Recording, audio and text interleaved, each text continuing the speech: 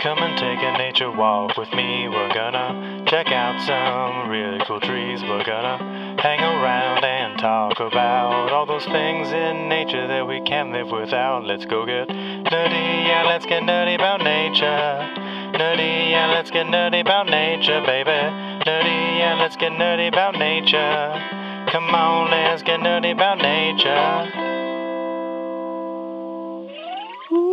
Ooh-wee. What up, nerds?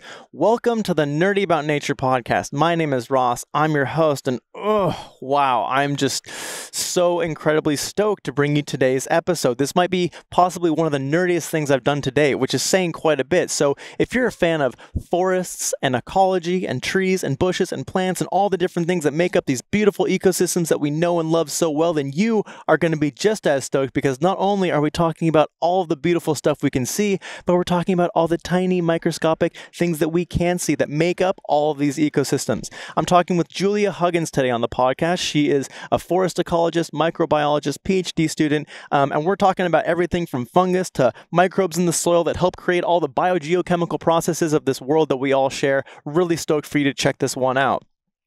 So today's episode is a slightly more visual one than ones I've done in the past. Um, you know, we're like doing some show and tell, looking at some different lichens, some different fungi, um, getting our hands dirty, digging through the dirt, looking for some bacterial nodules on some root tips for some alder trees. Really cool, fascinating stuff. And if you're listening, I'm going to do my best to kind of throw in some little bits of narration to kind of explain what we're doing and what we're looking at as we're doing it. Um, but if you have the opportunity to check this out on either YouTube or Spotify, um, you know, it'll be a much more rich uh, learning experience because you'll be able to see what we're seeing as we're seeing it, as we're looking at it, as we're talking about it and figuring it all out. So if you have the opportunity to do that, I would 10 out of 10 recommend doing that. Now, before we get into this, I just want to take five seconds here to do a quick little shout out, quick little what up to all my Patreon supporters, um, because this whole Nerdy About Nature project is a passion project um, that aims to inspire and educate people about the world around us, the world that we all share, so we can create a better world for everybody. And none of it is possible without support from you, my Patreon folks. Uh, you can learn more and become a patron at patreon.com slash nerdyaboutnature. Um, and I would really appreciate the support. If you're appreciating the stuff that I'm putting out, I would appreciate you uh, helping me out by supporting that. Now, with all that said, let's get nerdy with Julia Huggins. Here we go. All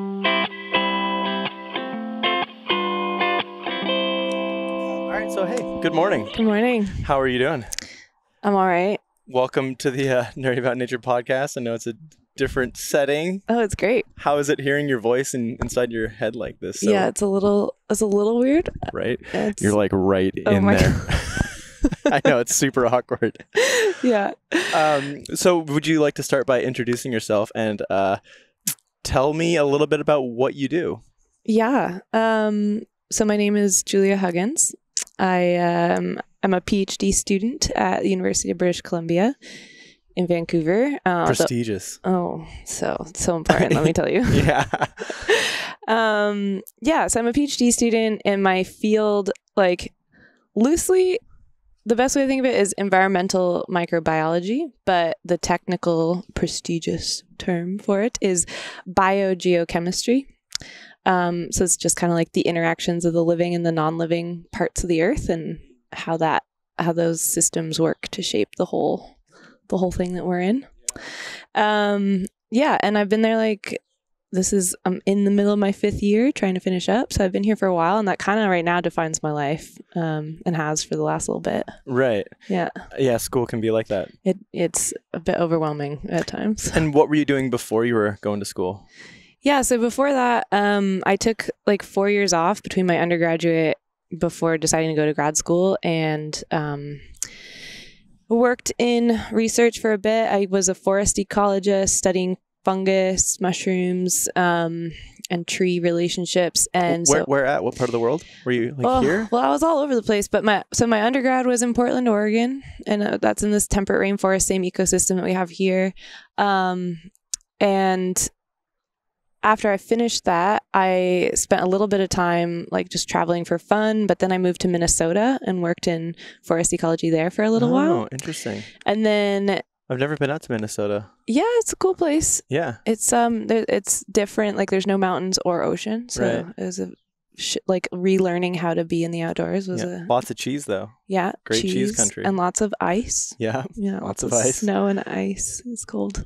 Anyway, um, part of the time that I was there, I also went to South America to do some research in the temperate rainforest of Patagonia, sort of like affiliated with the time I was in Minnesota, and um, that was really rad because it's like a same ecosystem type, but then different trees, different species, and like seeing how another temperate rainforest works with fungal ecology and a lot of the same things Right. I had learned about here. I then got to see there. Yeah. So really similar climate, Yeah. but just totally different tree species. I mean, surely.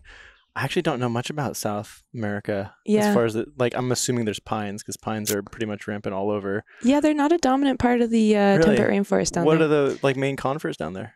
um, the place that I was in, actually, there's very few conifers. They have evergreen. Right. Um, so Nothofagus is the the genus of the tree that is the in the very southern, far south part of the of the temperate rainforest, and they're they're an evergreen broadleaf. So they put out new leaves year round, um, and they have really tiny leaves that are kind of similar to what needles do for for conifers. Right. Really waxy, durable, like arbutus leaves, kind of. Yeah, yeah. Um, and uh, so there's a bunch of different Nothofagus species, also called like the southern beech tree. Um, they're beautiful. They're like feathery, like I don't know. Just look up some pictures of the southern temperate rainforest because it's incredible. Yeah, and they're the same. New Zealand's temperate rainforest is also dominated by that that type of tree. So they have like, um, and honestly, it's been like quite a while, so there might be some others that I'm forgetting about, but those are definitely like the dominant thing that that structure the canopy there. Yeah, it's it's cool when you are able to travel like around like that and you're able to Mhm. see how how rare coniferous dominated forests are in the world. Like that's one of my favorite like kind of fun facts over time is just how coniferous forests became isolated kind of around the northern Pacific rim. Like yeah. basically like Japan to Russia, Alaska down to the hmm the coastline down to California. And then of course like spreading across like the upper part of the continent like boreal forest and everything, but yeah, of course. And the- everything else is like dominated by deciduous trees. Yeah, exactly. And and so like, you know, we have like the global north and the global south and there's more land mass in the global north um or more of the land in the world is in the north. And so we tend to think um sort of about cold places being in the north.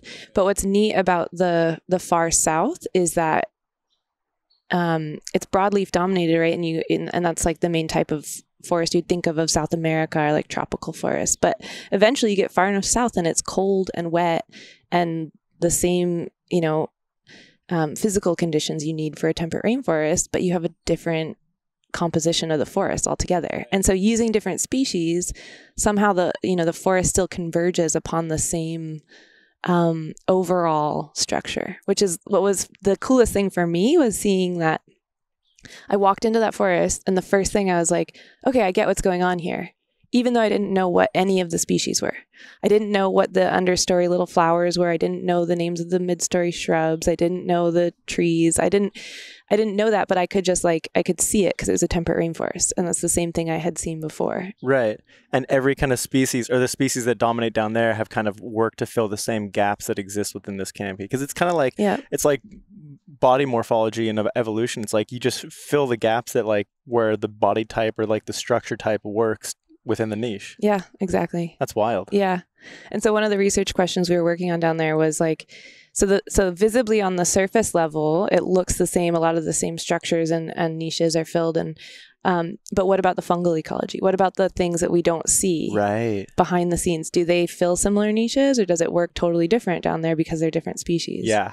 Oh, I'm so excited to chat with you because this is like because so much of like what I know and have understood about all these forests, and I think like most people is just like the pure visual element of it. It's like, oh, like these are alders. You can tell they're alders because of the way they are. Yeah, exactly. And like and everything that you can see, but then the mic the microbe world is just like so far beyond yet plays such a huge role but like the average person doesn't see that or even like make those connections No. so exactly and that's why I've that's why I fell in love with microbes Yeah. yeah okay before we get into that though yeah um so you were you've traveled around you've done you were working down in um South America south america and Yeah. you were doing stuff for nat geo correct Yeah, so then I um I spent a few summers working in Alaska. Um, National Geographic and Lindblad is the name of the company. They do like boat trips all throughout Southeast Alaska. They go they go all over the world, but I was working on their Southeast Alaska trips. Um, yeah, and I, I was a naturalist, so my job was just to like it's kind of like a dream job. My job is just to like be excited about where we were and like talk to people about why it was so cool. Yeah. um, That is so my dream job. I feel like that's what I'm trying to do with my life right yeah, now. you'd be good at it. You'd Yeah, be good at it. Trying to stay stoked. I know. Sometimes I'm like, what did I do going back to school? I already had my dream job, but um, yeah. So I I would spend the summers um, on and off some contracts on the ships, and um, we go by boat throughout Southeast Alaska, which is really the ideal way to navigate that that land Right. area. Um, and this is like the Tongass, kind of like along, like just Mhm. north of Haida Gwaii. Yep, yeah. Um, all the way up to like Juneau Glacier Bay is sort of the furthest north, Haines, Alaska. Yep. We go up into that area. Um, yeah, and so we just take people who are really interested in traveling in a way that's much more immersive and educational than just simply like seeing pretty things. And um, we'd go on little hiking trips and kayaking trips. And of course, everybody wants to see the whales and the eagles and the bears. And I also love those Mhm. things. But The charismatic megafauna. exactly. Yeah. Yeah. And so, but my, as a forest ecologist and a naturalist there, my, what I always tried to bring in was a pe- this other perspective of like, look at all the pretty green things and all the tiny little microbes you don't even see and trying to like create a framework for seeing this place that went beyond the surface and beyond just the like it's a whale but like why is that whale here? Why is that whale spending its time in this area? What about the the physical and and um, chemical aspects of this environment support that. Yeah. why why is are these massive eagles here? Like they're beautiful and they're cool but but why? Why are they here? What about this forest supports this like the existence of this tiny endangered small little bird that you know you came out here to see? And but why is it here? How does it live here? So that was sort of always what i tried to do with with that work. Yeah, because it's so much more complicated. Like you couldn't just like take. I don't even know that small bird you're talking about, but I mean, like everything is like so suited to its niche. You can't just like take it out and like try to breed it elsewhere and like replicate it just based on like a, a pure physiological like reproducing level. It's like you need a lot of the certain like chemical makeups and a lot of the different species and the way that they've like evolved to interact. Um, Mhm. caribou are a great example of that. It's like you we can have caribou all all over, like theoretically, but like they only exist in the, the native like habitat range because they depend on lichen, mm-hmm.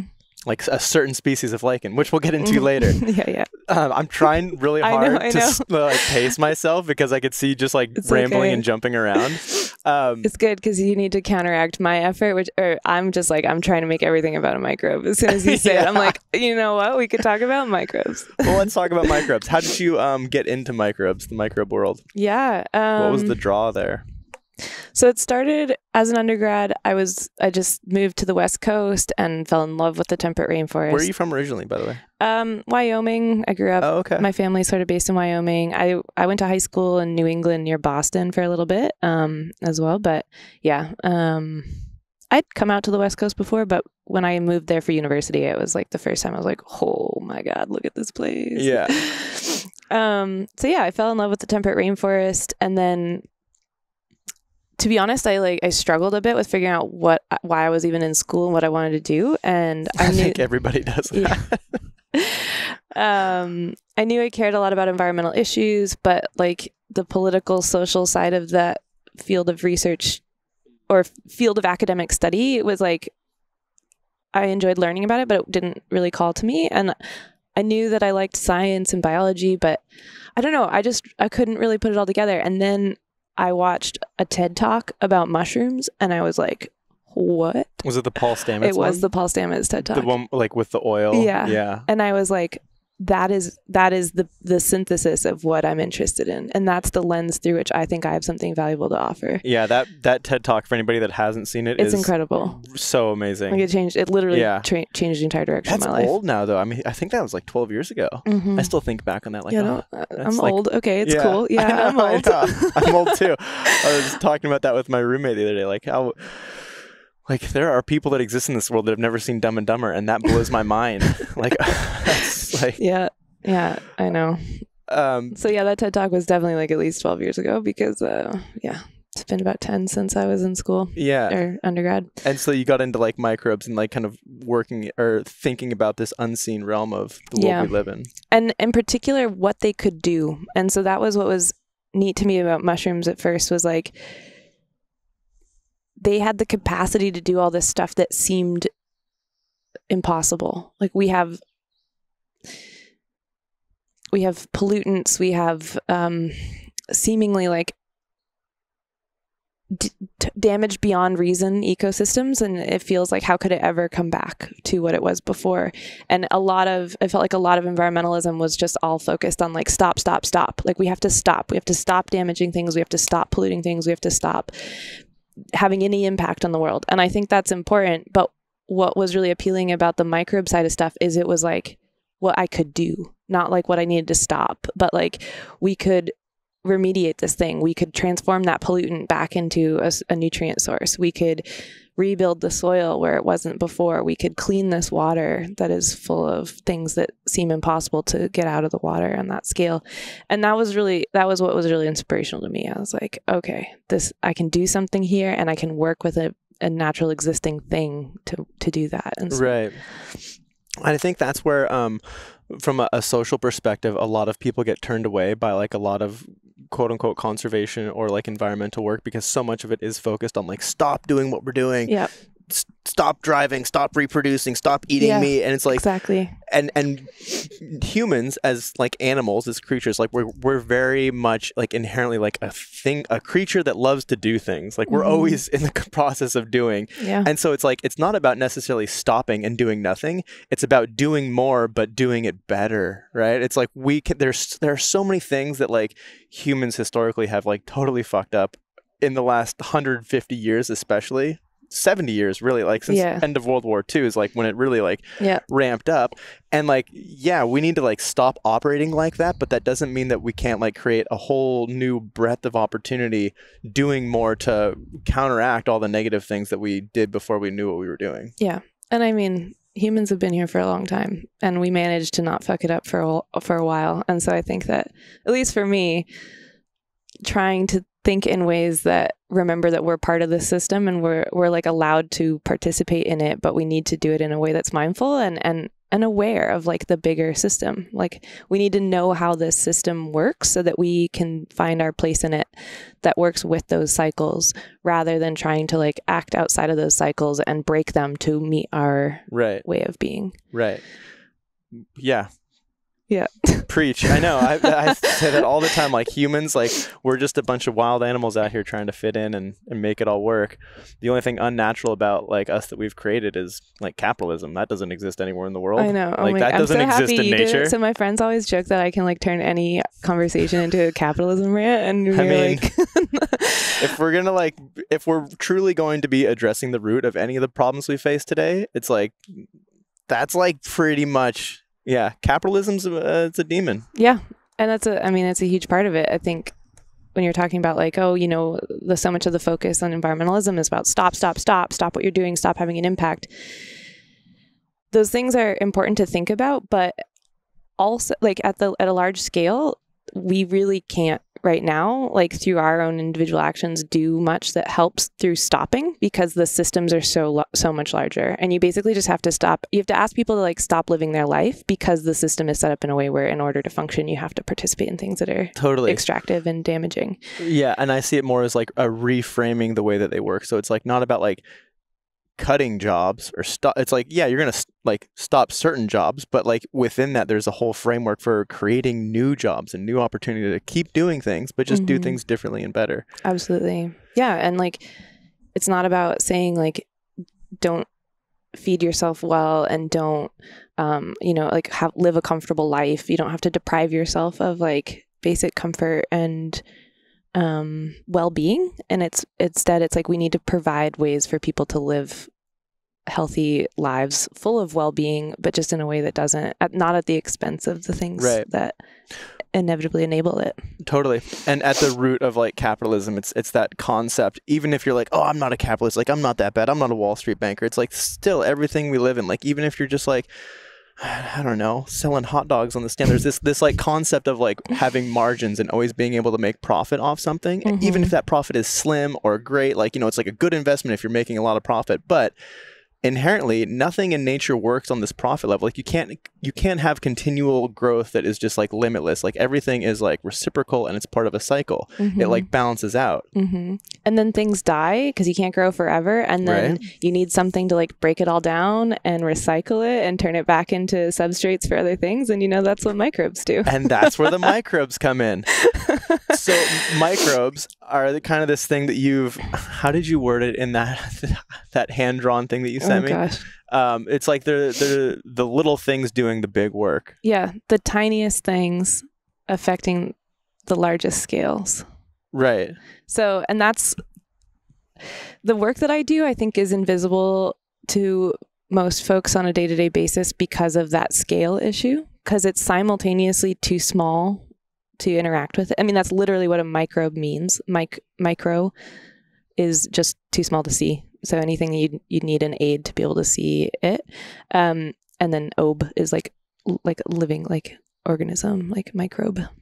kind of from bio Yeah. from life yeah, Yeah. microbe and so uh, microbio, right? Like, Yeah, yeah. like shortened. So it's like living things that are too small to see are microbes. So and like microbiology is the study of yeah, life that's too small to see with your naked eye yeah, exactly. Yeah. The tiniest things that are too small to see, and yet the impacts that they have and the the outcomes that we can observe are on scales that are almost too big to see. Hmm. we don't think in um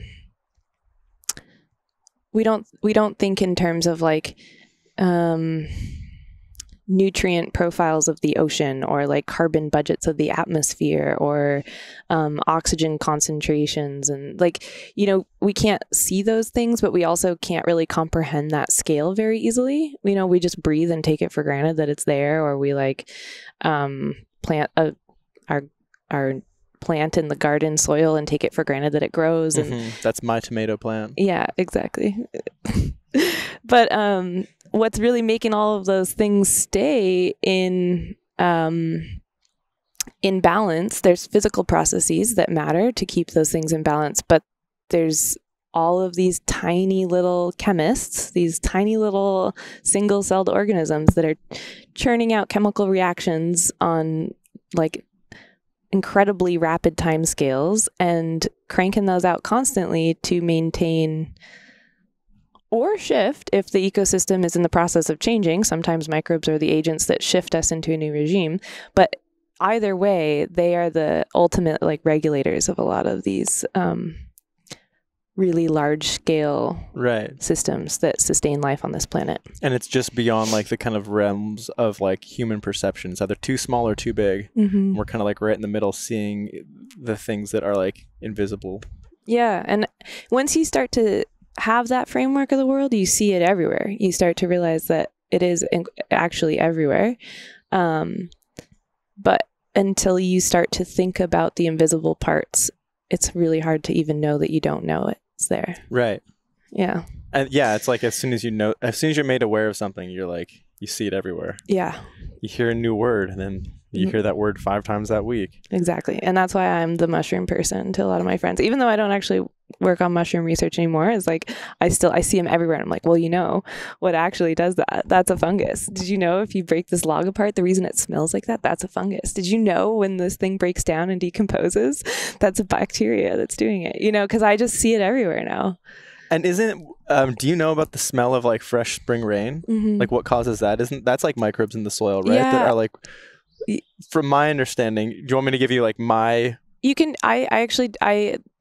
You should go for it because I don't know this on like a technical level. I've also heard about it though. yeah so. i don't know anything technical about it either other than it's they're like microbes in the soil and they're dry and when the weather warms up and the rain starts to fall um they're like looking for new habitat and that like cues them to like reproduce so that smell is actually them like it's like is it their like spores or Well, I'm not sure. So actually, I don't know if it's their spores or secondary metabolite compounds that they just like give off because a lot of these organisms live in a dormant stage where they're not quite dead, but they're not actively living. And as soon as they get wet, they kind of like come back to life. And in that process, I think they give off a lot of, um, yeah, different secondary compounds that aren't just, there could be signaling in those. It could be spores also. Um, but it could be, I could also see it as like um, signaling molecules because a lot of like spores, so a lot of fungus have lots of spores and those spores need to find each other to um, reproduce sexually, but it's like a weird fungus sex. So there's like thousands of genders and like it's so crazy and cool. And so there could be a lot of that as well going on of like, you know, hey, I'm over here. You know, I, I, I don't actually know the details of it, so I'm not going to pretend that I do.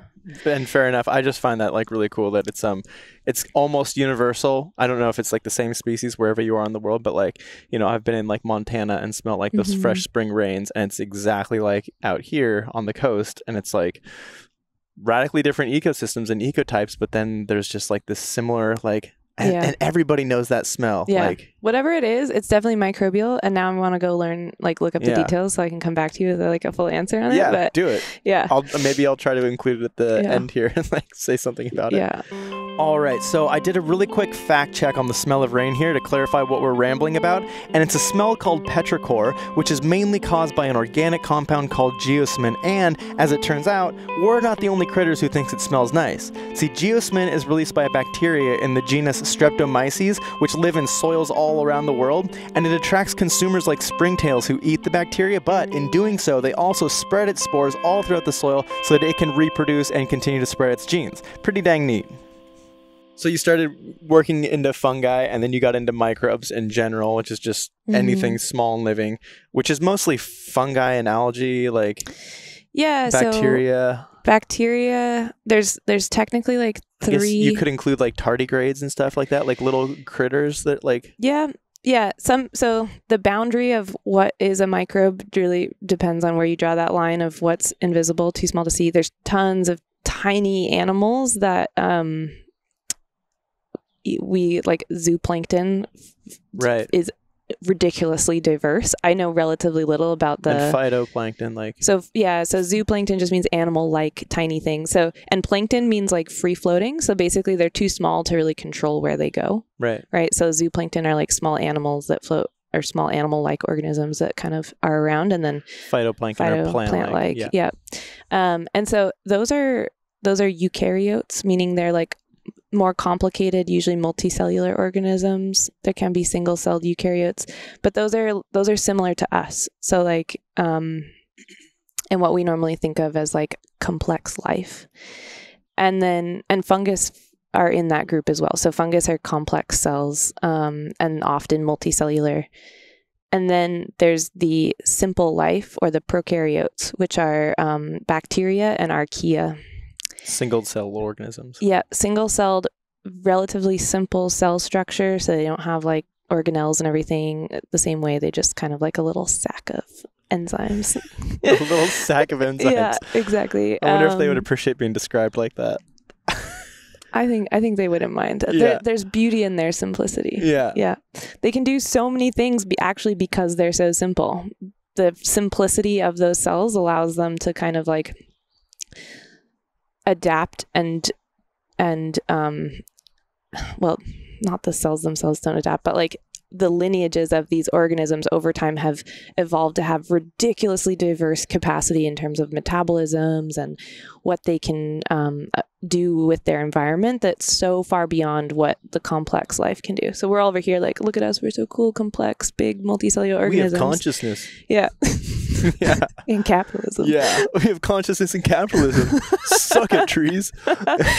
um, but really, when it comes to like on a metabolic functional level, um, complex organisms, we do relatively little. We breathe oxygen for the most part, and we like eat carbon.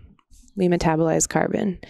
But even that isn't like fully us because a lot of the way that we digest and break things down is the microbes in our guts that That's true. That's true. Also, so it's not even like like we are what we are because of everything that we can't see. Yeah, and so what our cells and like the human cells in our body can do is break down simple carbon structures um, and use oxygen to to respire. To we breathe oxygen, we respire oxygen to use that to break down the carbon, and that's for the most part most complex life lives on that reaction with a few variations.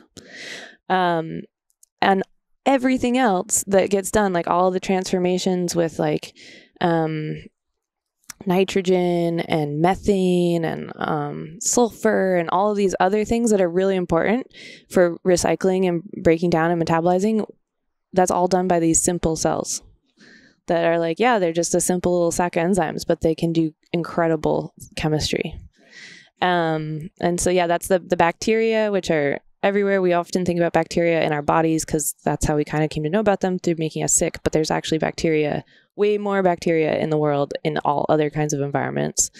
And then archaea, um, also everywhere, but we typically associate them with like the extreme environment. So, like, they're the things living in hot springs or like um, deep sea vents and things like that. Or even ice and ice. Yeah. yeah. But in the Arctic. yeah, but to be honest, like archaea are not isolated to just the extreme environments. They're kind of everywhere as well. Right. They just are the only ones that can really live in those extreme environments. Yeah, a lot of bacteria more so than we originally appreciated can can handle most of those extreme environments as well, but the most extreme of the extremes are often archaea. So microbes play this intricate role within all of these ecosystems.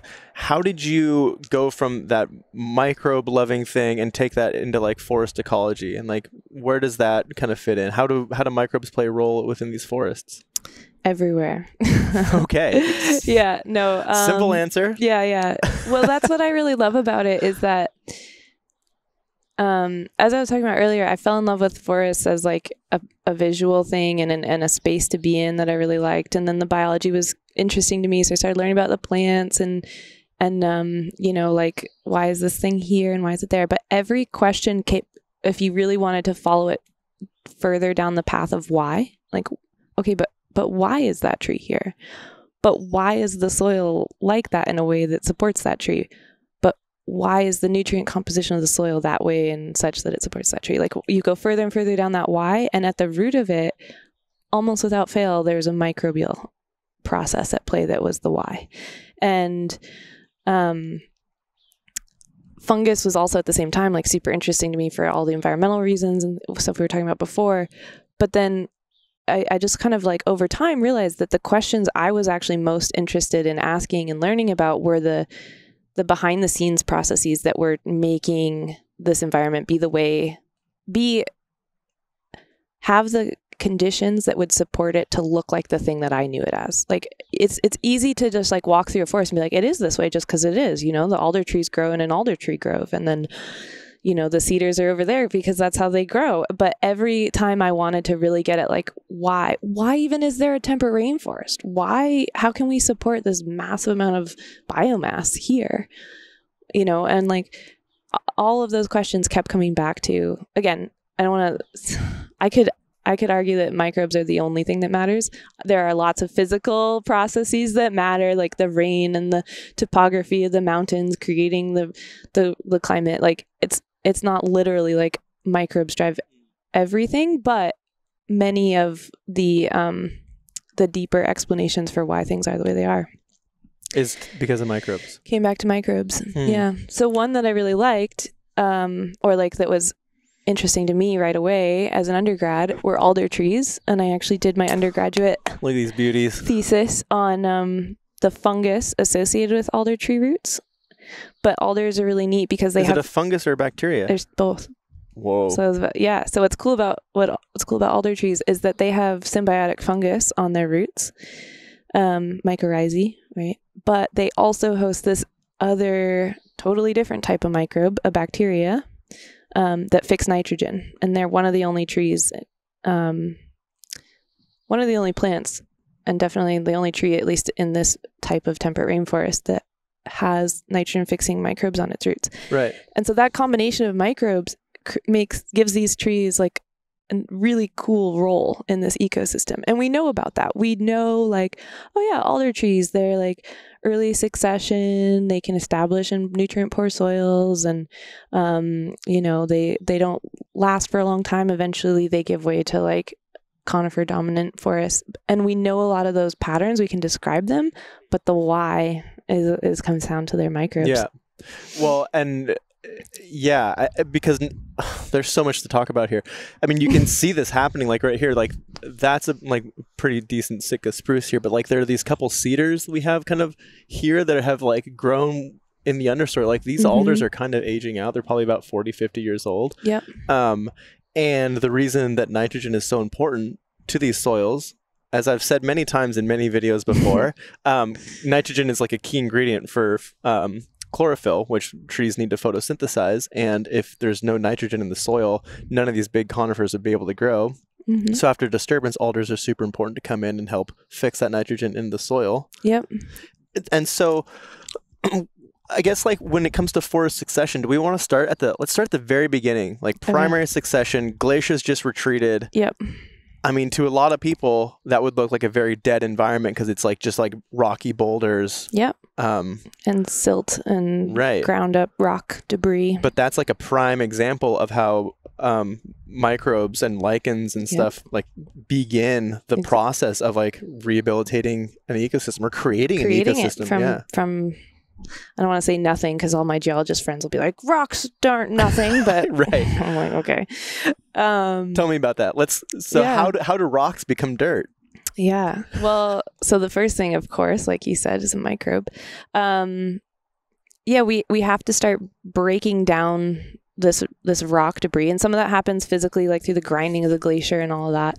Um, but chemically, like there's a lot of nutrients in rocks, like minerals that are necessary for life, um, and that weathering can happen abiotically. It can, you know, just the Abiotically isn't without Oh, sorry. Yeah. It's okay, I'm- I'm just popping in to try to- Yeah, yeah, Clarify it for the folks who may not know. yeah. Things that don't involve microbes. Some things are, yeah, abiotic, no life needed for the process to happen. But um, a lot of the weathering that does happen early on is from the first microbes that that get set up in that space, and um, one of, not the only first one, but one of the first ones to be able to to live in these environments are lichens. And we often talk about lichens like they're one thing, but what's really cool is they're not. They are they only exist when a fungus and a photosynthesizing microbe like a cyanobacteria for example live symbiotically. And what's so cool about lichens is in a lab we can isolate the fungus and grow it separately. We can isolate the photobiont, the um, the the cyanobacteria, and grow it separately, and neither of them look like a lichen. Interesting. So they only take the shape of a lichen when the two are like married together. Yeah. So a lichen is is an emergent property of these two organisms living and growing and often reproducing together. Like lichens will produce little packages that contain fungus and cyanobacteria together that can then go grow a new lichen. Yeah, because I've always been curious about that. So like the spores on a lichen, because they reproduce like a fungus would, like through spores, right? Yes, they can. They can. Okay, not all of them, but most Yeah. of them. Yeah. Um, so those little spore packages contain the like building blocks of a fungus and the bacteria. Yeah, so I don't know. I'm not a, a lichenologist. I don't know if the technical term is correct to call them still spores or not. I don't know because uh, I think a spore is very specific in I what think it it's is. a spermatophore. So they can produce little like propagules, if you want, like little packages. They're just Yeah. like little nuggets Little of like a, envelope of things. of a of some fungus and some um, cyanobacteria or algae, um, and now we know there's often other microbes. It's not just the two of them. Sometimes lichens are actually like five or six microbes all living together. So sometimes those other symbionts will kind of go along for the ride as well. Um, yeah, and they can and they can reproduce like that. So in a way, they end up acting like their own organism. They act like like an individual, but they're actually like completely different things. Like they are from diff- completely different branches of life. It's not even like two plants living together or something. It's like a fungus and a bacteria are almost as different as like any t- two things. They're so far apart evolutionarily, and yet they found a way to grow together and live and form this thing that we call lichen. That raises some really inter- interesting taxonomy questions. Like, how do you define a species of lichen if it's comprised of different species of fungus and bacteria? Yeah? I mean, a lot of the time they do it based on the fungus. They they, um, but Because like there are so many species of lobaria that like look the same but different colorations. Like, is that all? Is it basically? Is lobaria like the species of fungus? And then the different species are just based on what type of bacteria they have in them. I think so. Yes. So Wow. I, as a scientist, I'm always nervous to be like, yes, this is the truth because I don't actually study it, and so I can't. And so, and also when it comes to taxonomy and microbes, as soon as I say something, there's someone else is like, nope, we've renamed them. That's not the Right. thing anymore. So Right. I will never make strong claims about the uh, like. Those little fine branches of the Oh tree my of life are always interchanging. Yeah, that's like not the kind of science I do, and I admire the folks that do it, but it definitely kills me every time. I'm like, I've learned a, a Latin name for this thing, and as soon as I've like got it down, someone else has like regrouped it and split it into five categories and reclassified it. Right. So yeah, I think with those lichens, a lot of the time they are um, based on the fungal species, but the same fungus can also associate with multiple different photobionts. So photo meaning light and um, photosynthetic, and then biont is symbiont. So like they can have so uh, uh, partners. so I'm just trying to break it down and yeah, and even further. Well, yeah. no, and then just like summarize that. So a photobiont is a living thing that gets its energy from sunlight. Yeah, that is symbiotic in this case. The Biont, biont, right. is the symbiont, right? So the photobiont is the the light partner, the partner that deals with light and Gotcha. and so their job in the symbiosis is to take in light energy um, and produce com- carbon compounds that are then used as energy um, both by the fungus and by the by the light. So they so they make they make the carbon and then the the fungus's job is to provide structure actually like create a, a big physical space for those photobionts to live on and um, retain some humidity right? So they are they form sort of a layer over this film of of bacteria photobiont cells they grow over the top and sort of pr- provide a protective layer that also keeps them nice and moist and While, still allowing sunlight to come in. Exactly, yeah. And so the, the, the fungus of provides the space, and the photobiont provides the um, the food through energy that it gets from the sun. And then, of course, like I mentioned, there's actually a bunch of other microbes that play other important roles as well. Um, and in addition to getting energy from the sun, those the cyanobacteria in a lichen um, often also can fix nitrogen. So they can do two things. They can pull carbon out of the air and make carbon molecules like sugars, and they can pull nitrogen out of the air and turn it into forms of nitrogen that are usable. Um, and that's the big one. I realize how far off uh, this tangent we are because the question was about primary succession, but Fine. that's We'll come back to it. where that you know that is bringing that back full circle to the primary succession piece is that nitrogen the ability to pull the nitrogen out of the air and turn it into usable forms of nitrogen um, is key in early succession because carbon is is everywhere and there are a lot more organisms that can fix carbon. Basically anything that can photosynthesize can fix carbon. But the ability to fix nitrogen and when i when i say fix i'm just talking about like turning it into like A physical thing, taking it from a gaseous gaseous form to like housing it in a biomass. Compound? yeah Sure, yeah. exactly. Um and and nitrogen's really hard to do. So nitrogen in the air is everywhere and it's like almost 80% of the of um, the atmosphere so it would seem like why would we have a shortage of nitrogen but we can't use it in that Mm. form because it's, It's- like locked up and yeah we don't have a way of fixing it. Exactly. There's two nitrogens and they're triple bonded together, and that bond is like impossible for pretty much all living organisms to break and use. And then some little microbes have this amazing enzyme that um, can kind of like hold those nitrogen molecules in just the right position and bring in other um, molecules to come in and react with that and break that bond open, releasing that nitrogen to the rest of all the other biological processes that need to use it. And God, so the way you describe it, I, f- I see it like an action movie. it enzymes are like that. Just breaking apart this nitrogen. Yeah. exactly. Yeah. Um so then they've they've broken open the nitrogen, they've turned it into compounds that life can use, and um, they pass that along to their fungal partner. They use some of it themselves, and and suddenly now, where before you had minerals and um, substrates that could not support life, you have now nitrogen, and that opens the door for everything else that can maybe photosynthesize and fix carbon, but couldn't fix nitrogen. Now they can use some of the scraps of nitrogen that are being released by these lichens To create chlorophyll to photosynthesize in the first place. and start to grow. Right. Yeah, exactly. so a really simple, easy way that I've heard lichen described is as a fungus that has been able to basically um, farm. Right. So if you think about it like that, like the fungus forms like it forms the greenhouse in which it houses the plants that it grows, which are the micro or the bacteria, the cyanobacteria that photosynthesize and give it energy. But basically, this fungus has learned to work in tandem with these other things that grow to create like a housing body that protects it, that gives it like a place to grow yeah. safely. Love it. That's a good analogy. Yeah. Yeah. And Yeah. then so it works to break down. Well, I, I guess does lichen, because let me think. Because lichen primarily is, gets its energy from photosynthesizing, right? Mhm. Mhm. Through the bacteria. Mhm. That's like the source of its Yeah. Do the cyanobacteria. of its energy.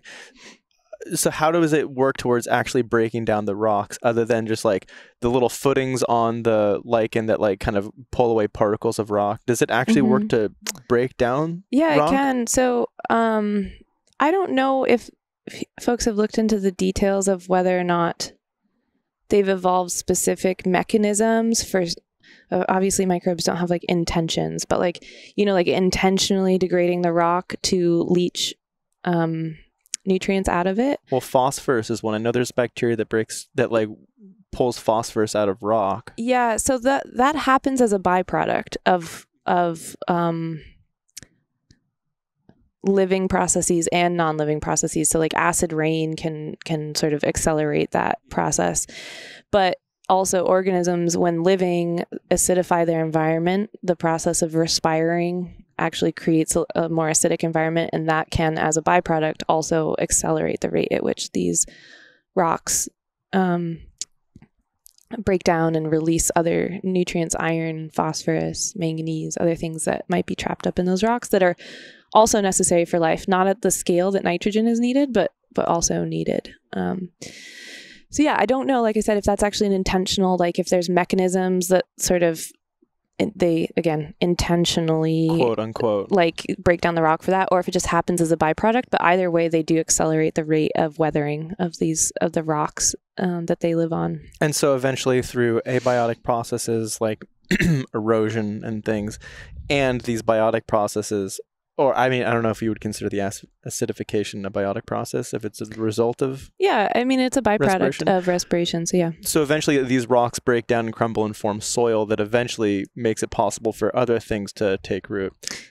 and and soil technically is bits of rock and sand and and silt with organic matter like that's what makes something a soil as a loose definition all those soil geologists out there are gonna like technically it's more complicated than that Well, then there's so many different types Yeah. of like humopheric soil and the, the like Yeah. the specific compositions and types of soil is like Yeah, I'm not even going to pretend that that's my thing. But yeah, so once those lichens die and other things like plants, a few little grasses and whatever, they mix with the they mix with rocky the debris, soil. and now Right. you have soil. right. And then you've got soil, and soil opens the door to like all kinds of life to start moving in. And so, uh, I mean, going from primary succession to, um, Later stages. yeah, like I'm thinking, I'm picturing in my mind like an alpine environment, alpine lake, you know, Yeah. glaciers receded, and like the first things that kind of come in are these like flowery meadows, Yep. um, these perennials or annuals that like pop up and Yep. do a lot of work to create more soil.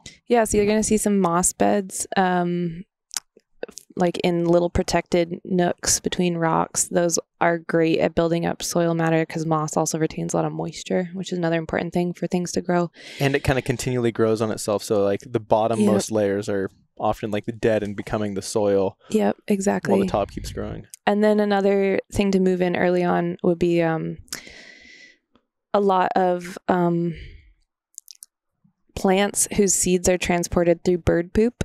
So, like, um, a lot of There's probably a technical term for that. yeah, I'm sure there is. I don't know what it is, but like it's bird poops. Like a big part of primary succession is like bringing those seeds in, um, or plants that have seeds that can travel on the wind. Really, those will also move in. Like fireweed in this region is a, a common early succession plant because it has those really light, wispy seeds.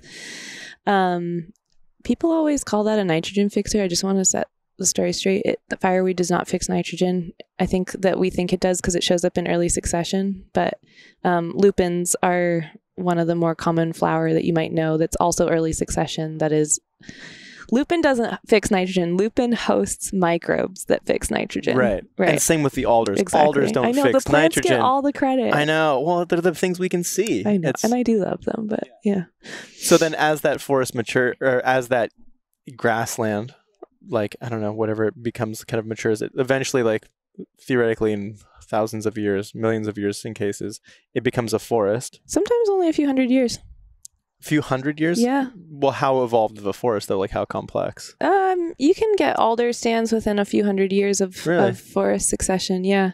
If anyone, if you ever get the chance to go up to like Glacier Bay, um, you can you can find other ecosystems around here, but Glacier Bay is an amazing example of this because in the last couple hundred years, we've actually been able to like witness and document the retreat of a glacier, and it the glacier came out and totally cleared the whole um, valley or fjord bay whatever and then retreated.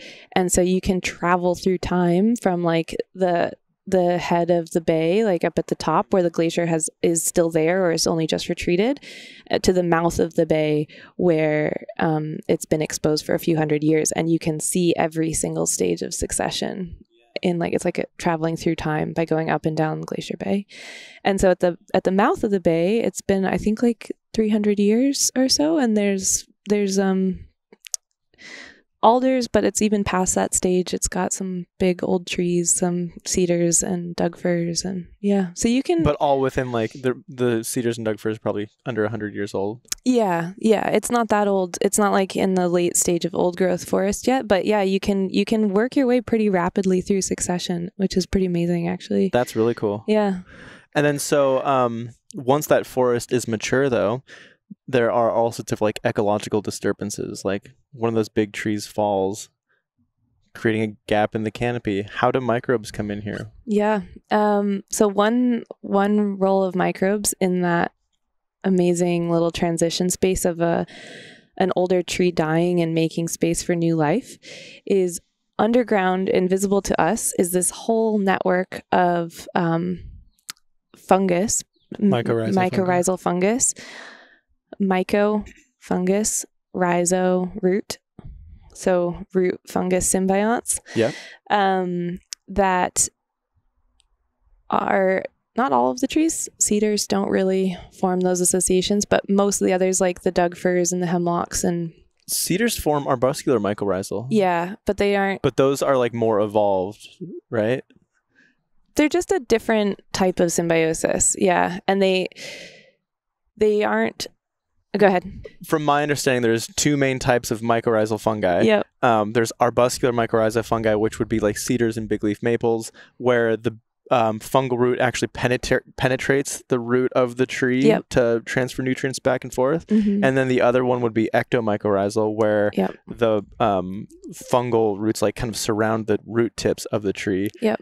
And those, those like ectomycorrhizal are the more common ones in cold places where we are. in cold places. Yeah, our arbuscular mycorrhizae we tend to associate with um, tropical forests for some reason. I actually Oh, don't know the actual explanation for why, but Hmm. tropical forests are more commonly dominated by those types of fungal associations, whereas colder um, boreal and and temperate forests, um, especially conifer forests, are dominated by the ectomycorrhizae. And so the the the cedars do form arbuscular associations, but those aren't the the dominant fungal network. And so the cool thing about um, the ectomycorrhizal fungal networks is like a single fungus. It's even hard to describe what a, a single fungus is because it's just a web. But a single web of one fungus in an area could be associating with multiple different trees of different species. And through that, you get these networks of nutrient sharing and even signaling and communication that can happen um, underground between these trees, sort of structuring the the relationship the trees have with each other that we would never see because we don't observe any of that. We just think like, oh yeah, they're next to each other. But one of the cool things that the fungus will do is, um, so like early on, the seedlings when they get started, the tree seedlings, they're shadowed um, by the the other trees in the canopy, and they can't actually photosynthesize that much. Um, and they can be dormant, sort of like hanging out at you know a few feet high for for years, for decades, even in some cases. But for years, these little seedlings will just kind of hang out there, growing very little.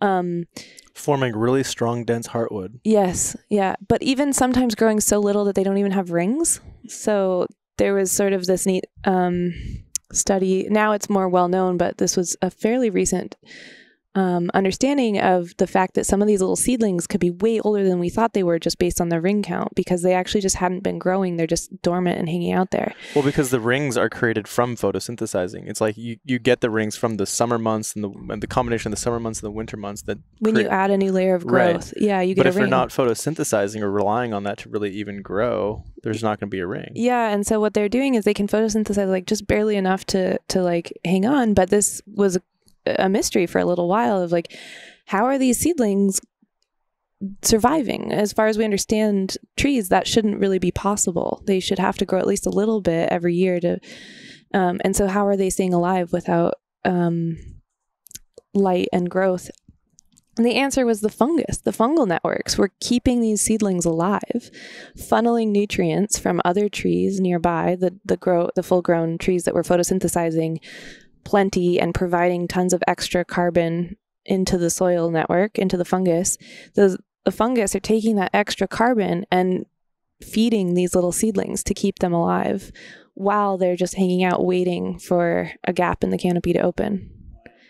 And then at some point the canopy opens up a bunch of light penetrates to the forest floor and these seedlings can take off and like double in size over you know a few years and just rapidly take off compete and then that rat race for who's gonna um, fill the gap and shade out the other trees kind of starts. But and that's the part again that we typically think about is that that stage because that's what we can observe happening. But all leading up to that was this really cool process that um, is only possible because of these microbial networks in the soil and these complicated amazing symbiotic relationships of give and take between the microbe and the and the tree Yeah, so explain that a little bit more. yeah Like so the trees the trees are transferring like this is the concept of like mother trees where the mother trees are able to communicate, quote unquote, communicate with their offspring, their little tree saplings in the understory and send them more nutrients so that they can survive and kind of grow in the understory yeah while they kind of bide their time and that's all done through these fungal mycorrhizal networks. yeah i'd be actually interested to hear this so this entire thing is like fairly new to Yeah. science at least new knowledge to science and, and so new is in like I think like a decade. It's, Yeah. it's at least a decade old, which like sounds kind of old by human scales because it's like oh no yeah, I remember the first time I went to a fungal research conference when I was an undergrad. Again, we've already established that I'm old, so that was like 10 years ago, more than that. And um, I remember standing in line and listening to some people chat about this idea, and they were like, Yeah, like signaling through the fungal network, and I think they do this. And someone else was like, Nah, like that just sounds like they must be missing something that can't possibly be. And then five years later, the paper came out and it was a thing. And it's like all happening in real time. Like these ideas that people were like, no, that can't possibly be. And we're like right now figuring this stuff out, which is cool. And I haven't been in the field for the last five years. So I don't actually know if they've made any more advancements in understanding how that works. I don't think that the tree, the mother tree, can like direct in, with intention and sort of say like where this carbon should go. I actually think it's my understanding of it is it's mediated by the fungus. And it's actually the fungus again, intention is a weird thing here with Right, microbes, because we're like, like, anthropomorphizing things that don't interpret the world the same way we do. Yeah, and we don't even know the mechanisms for this. We don't know the signaling. We don't know like fungi seem to be able to make decisions, but we don't know how they do that. Like they seem to be, they can navigate mazes, they can like um transport nutrients across you know counter to to concentration gradients they can kind of like force nutrients into places where they wouldn't be so they're they're definitely agents that are acting and making things happen and we don't really know how or why they're deciding to do that or That's wild. but one of the ideas is or the hypothesis there is like it's in the fungus's best interest to keep these little trees alive because ultimately once those trees grow they are the source of the sugars because they're going to photosynthesize with the sunlight and feed that fungus carbon later on in life. So it's in the Right. fungus's interest to keep those baby seedlings alive until they have a chance to grow. With the understanding that eventually the, the big food source where they get a lot of their energy from is going to die out at some point. Mm-hmm, exactly. Because fungi, like the lifespan of a fungus, isn't even the same. Like when we think about like a tree growing old and then dying, or like a human growing old and dying, fungus can kind of like It constantly just keeps growing. Right. So like w- they are theoretically like the oldest organisms in the world. Like a lot if you're Yeah. going to look at one species or one Or entity, yeah. one organism um Yeah. I'm trying to think is that because I know there's the one in Eastern Oregon. I, I think, think that's you're the right. biggest one, Yeah. but I don't know if it's the quote unquote oldest I'm not even sure how you would age a fungal network. Yeah. Um, because it wouldn't hang on to the same like dating compounds, you know. yeah. They may have come up with a way to do it. It's just not something I know specifically, but I wouldn't be surprised based on how what we know about how fungus grow if they're the oldest because they um yeah, they don't have a a life history the way that we think of animals and plants of baby, middle age, old, dead. They just are a network of cells that keeps growing and they could die off in one area, grow over here and then maybe come back if there's more nutrients in that area again and And with that there's like evolution kind of happening as they kind of grow and form new mm-hmm. new aspects. and you can break them up. You can I mean when I study a fungus and I want to make a culture in a lab, I just take a piece of the mushroom, cut it open and find a little square of sterile tissue in the center of it, cut it out, put it on a plate and it starts growing. And like you can you can cut them up and take the tissue from any part of it and it can grow its and, and it's weird to say like does it grow a new one it, it's not a new anything It's it's, just same. like it's, It's the just- same thing it just keeps right. growing so it's just these tissues that are alive and they keep propagating wherever they Mm. can yeah, I know. That's, They s- blowing. they kind of like screw with all of our ideas of what life is and that's also why i love them Yeah, I mean, in a way, they've kind of like they found the magical elixir of life, you know, that keeps you living. It's like, yeah totally yeah, uh, that's a wild thing to think about. Um, uh, yeah, going back to um the mother tree concept, though, I'm pretty sure. I thought that I had read that like Suzanne Simard specifically had done a study where there was like multiple trees in a forest and the the bigger older tree was actually like I don't know again if Mhm. it was consciously sending yeah. nutrients to its saplings but it was providing the trees that were its offspring more energy than it was any other trees in the area. So whether that's done by the tree probably not, maybe who knows, or if it's the fungus, maybe Yeah. the I don't know. I don't know that specific work, so I, I'm not going to pretend that I like know the answer to it. But I wouldn't be surprised if what's happening is that that tree has a fungal symbiont, one species or or one individual set of fungal networks that it's associated with. And often, certain species are more commonly associated with certain types of trees than others. And so, there may be sort of some selection there of like, I'm going to feed more carbon to the fungus that I know is only connected to me and my offspring and not giving all of my carbon away to that Doug fir over there or something else, right? That's kind of what we think happens with alders. So they have they have um, ectomycorrhizal fungus on them as well, but unlike most of the ectomycorrhizae in these forests, which can associate with lots of types of trees, the fungus on alders are only on alders.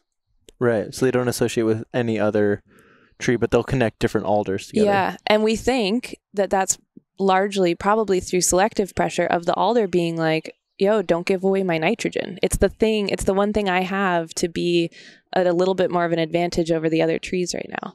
And eventually, it's going to happen as their leaves fall and degrade and they grow older and die. The nitrogen is going to get released, but in those early stages, it's really important that this tree retains the nitrogen that it fixes through its through its other microbes for itself because that's the one thing that gives it a competitive advantage. It's not good at competing with the other trees otherwise. And so I'm not sure if that might be how that happens with the mother tree and like the selective sharing. Um, but yeah, like the fungus network could be giving away those nutrients if if there wasn't some sort of like checks and balances on that. hmm Yeah, it's funny how we look at um, mushrooms and like because again, that's one of those things that we can only see. Like we think of a mushroom or a fungus as the actual mushroom, but that's basically it's the fruiting body of a vegetative thing that lives in the soil that we can't see. So it's like Yeah. only knowing an apple tree for an apple. Exactly. It's like, oh, that's an apple. That's that type of fungus. It's like, well, no, that's actually like the whole tree is the is the fungus. The apple is just like the yep.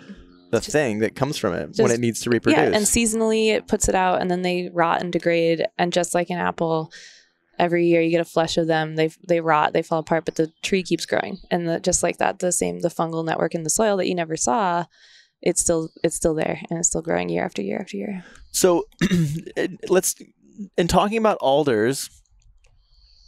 So there's an ectomycorrhizal fungi network that connects all the alders here, um, keeping this kind of grove strong, if you will, because yeah, they they're pretty shit at competing. Like they need Mhm. like a big gap and an opening. Like they need primary succession like Yep. circumstances for them to grow, Yep. which usually happens around wetlands and damper areas where they like are able to where there's a lot of turnover in the forest.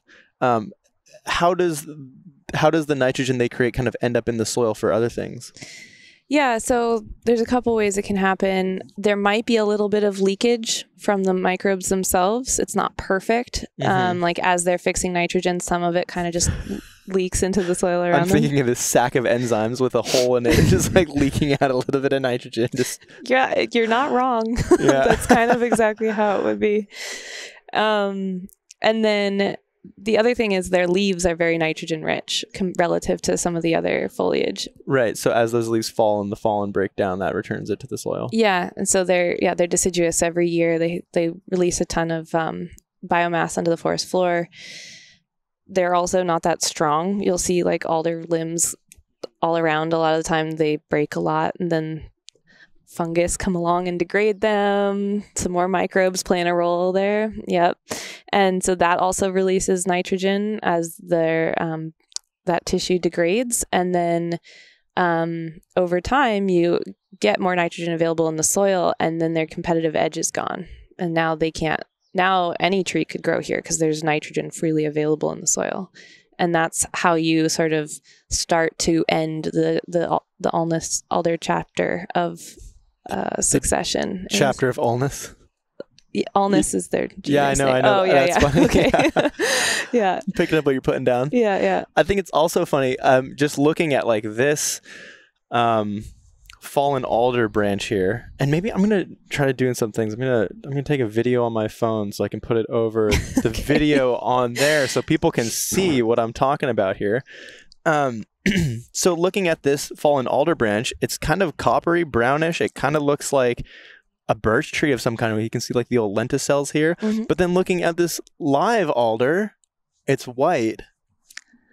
that's a microbe tell me about how um yeah tell me about that that's Yeah, a lichen right It is a lichen. Um, it's actually a patchwork of multiple different lichen species. They're crust crust lichen, so it's you can't even tell that it's not the bark really at first. Um, but they grow and they grow only on alder trees. Um, I don't know like a ton about the um, individual species. I know that you can apparently tell the tell them apart by licking them, and one of them has a bitter taste and the other ones don't. And interesting yeah, I I don't. I'm half tempted to try it I there's a couple pictures of me licking trees that exist you- in the internet. have yeah. you been able to figure it out I I yeah, you know. i mean beyond just telling like oh yeah that one's different from that one i guess it's kind of pointless yeah. But it's cool if you look close there. Um so like look at this patch right here. just careful No. of the uh, Step on all your stuff. cable oh yeah hold on i'm gonna get a little So you've got like a little patch and then you've got some dark spots and that's the different structures that the lichen is actually forming. that one right there Yeah, and so those little dark spots are going to be you, probably like a reproductive structure of the lichen. Um, and then just over from that you have this kind of patchwork of one that has all these black squiggles Mhm. in it and Yeah. then this one here that's more lighter Yeah, exactly. And and it's covered, so the entire people think that alders have white bark, but they Right. don't. They have this color bark, and then they just are covered in these uh, in these lichens. Yeah, and that's kind of what I wanted to get at because it's it's a perfect example of one of those things where we assume a tree or a thing is the way it is because of the way it looks, but under the surface there's all these hidden things. Well, it's kind of funny, you know, that joke of like, oh, it's an alder, you can tell because of the way that it is. In reality, it's like, oh, it's an alder, you can tell because of things that aren't the alder. It's because of the microbes that the alder is the way that it is. Yeah. Yeah. Um, you had mentioned to. Do you want to try to find some roots, root tips? Yeah, and we're gonna cut this if it just takes too long to find it, we but we're gonna we're gonna try. Think we can do it from the chair? uh, It's kind of dense here. There's all these lovely false lily of the valley here. Yeah, so alders host nitrogen fixing bacteria on their roots. Right. And what's cool about them is even though bacteria are too small to see on an individual level, the actual like Oh, I, this mm. is epic. the the actual like nodules themselves are clusters on the root. So the root, the woody root structure itself actually kind of like morphs and make space for these microbes.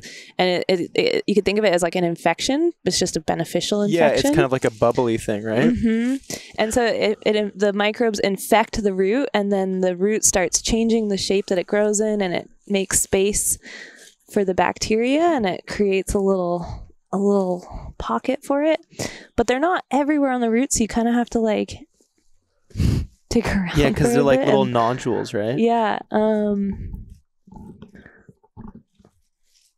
We were gonna pre-dig for these, but we decided to do it I think in real time. I think the real time dig is is more entertaining, honestly. So at this point, both Julia and I have migrated from our camp chairs to our hands and our knees to start digging around in the dirt. Yeah, this is a really exciting podcast. To everybody watching right now, they're probably just looking like, "What the fuck are these people doing? Bare hands in the dirt, trying to find bacteria attached to some alder roots. No.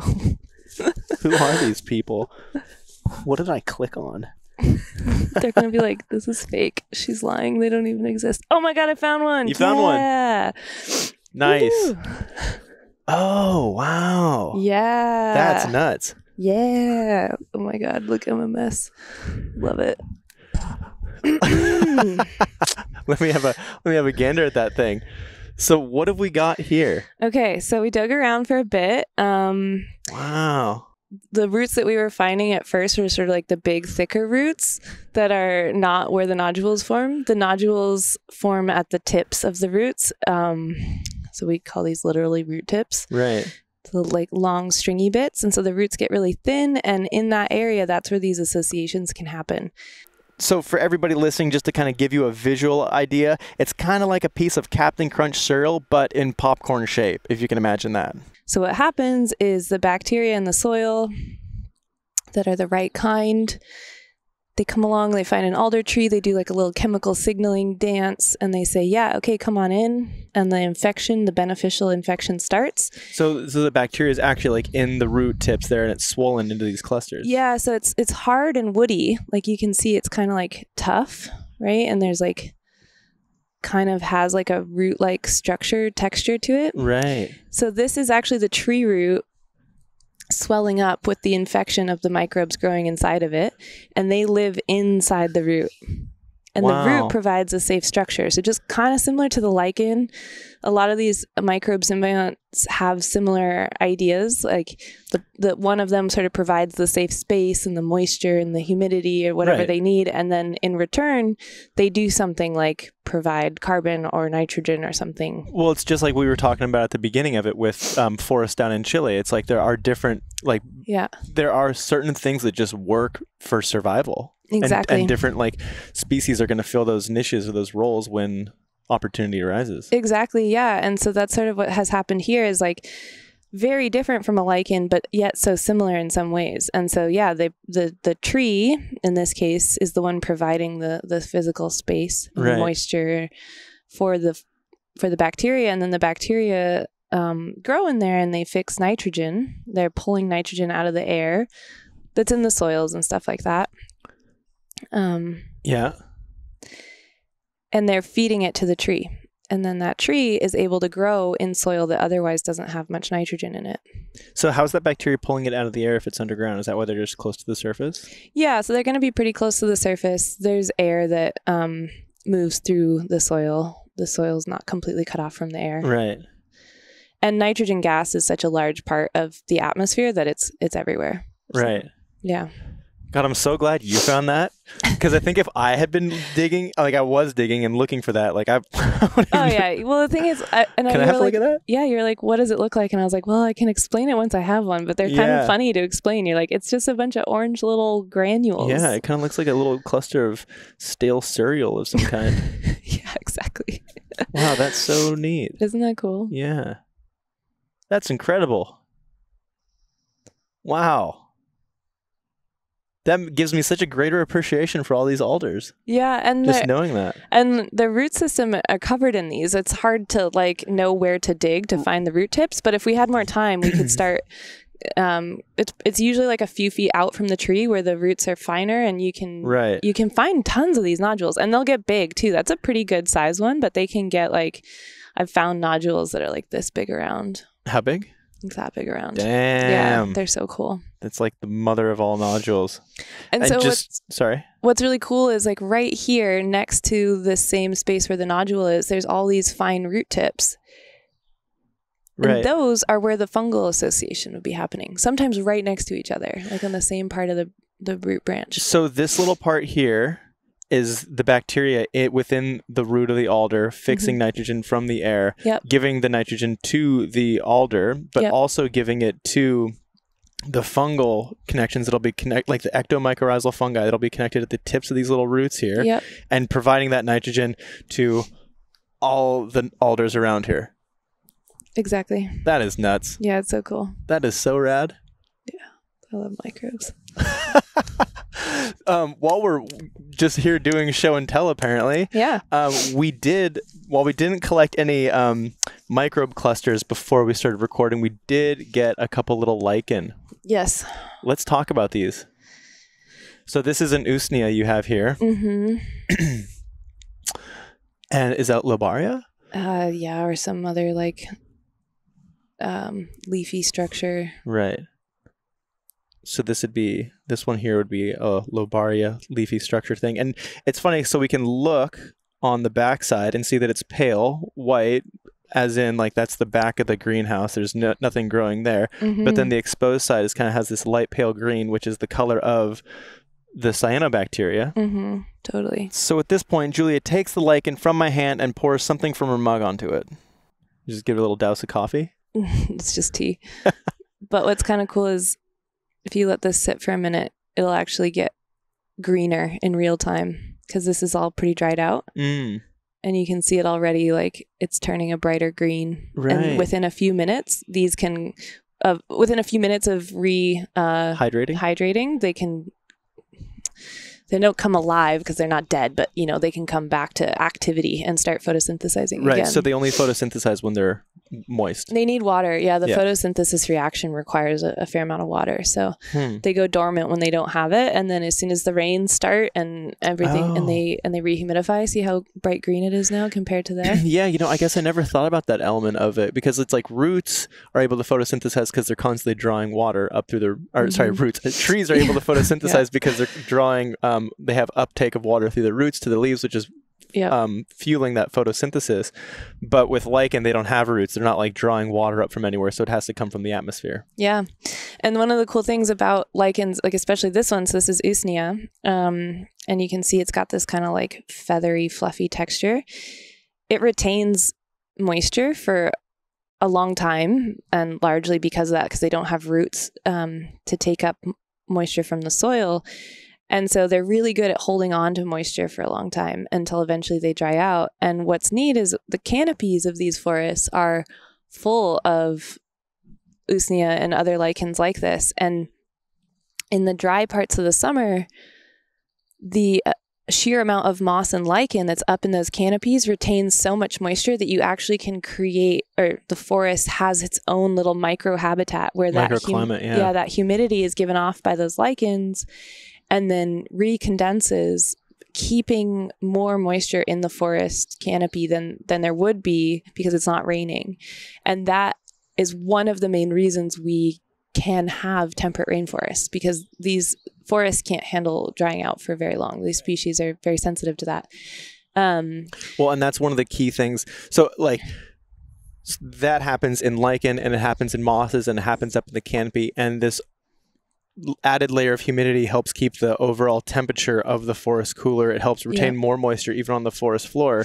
And this is one of the big things, one of those kind of big things that's beyond our perception that we lose when we yeah, um, cut or lose old growth forests, I guess right. um, and have second growth forests because this richness of diversity of lichen and mosses that appears in the canopy takes hundreds of years to establish, even after the trees are hundreds of years old. Yep. So totally and and they they don't grow very quickly either No. and so to get um, some of those massive you can go to places where these massive strands of usnea have you ever seen those like they look like somebody decorated a christmas Right. tree and they're just like the Usnea longimis- longissima. longissima yeah Yeah. yeah yeah um, and just these big clumps they take a long time to to grow and accumulate to that level and when you cut down these old trees that host them especially like they're, they're big um, they have these big branches that grow out vertically um, What you mean horizontal? horizontally, right? Um, and then up. And then, like, this whole part that's horizontal can accumulate these massive mats of mosses and lichens that retain humidity. And younger trees and second growth forests, after um, clear cutting and planting, they don't have those structures. So they don't retain all of these um, little moisture retaining Right. vegetation up there. And and that's a feature that happens. I wish I could almost see one like that spruce over there is a good candidate, but I can't see the canopy. Um, like that's a thing that happens only once a tree gets to a certain age and it starts forming a complex crown where you have like reiteration of a tree. So the tree will lose its leader in a windstorm or something, and then those upper branches will start to become new leaders. So they form these like candelabra tops and western red cedars, but it happens often um, in Sitka spruces and Doug firs where it'll it'll sprout from a, a new um, like nodule, like where the branch does, itself doesn't curve up, but like a new tree will essentially grow out of a branch. And once that happens, um, that branch has to put on more mass to kind of hold those other trees that are now growing on those upper branches. So those branches get really thick and wide, and like yeah, the ones on top of Sitka spruces especially can be like two feet wide on like a big one. They're like these massive like platforms. It's the like it would if it wasn't so hectic and high off the ground, it'd be a great place to build a uh, treehouse. totally and you know it's cool talking about succession and the role of microbes again is in the on those branches that grow out like you're talking about and then the the mosses and the lichens I start like the to use of the arm here. This is yeah very I always visual. think I yeah, always picture the trees like